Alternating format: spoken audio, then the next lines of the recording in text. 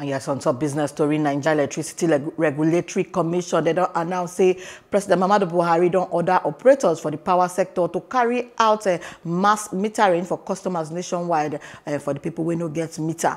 And the NERC then still declare it, say they never approve any increase for electricity tariff as they take report for some quarters on Wednesday. The information from the NERC had been they signed by their chairman, John Momoh, as the commission still declare, say, tariff uh, where they review uh, ongoing and forward. So say it could only follow service-based principle.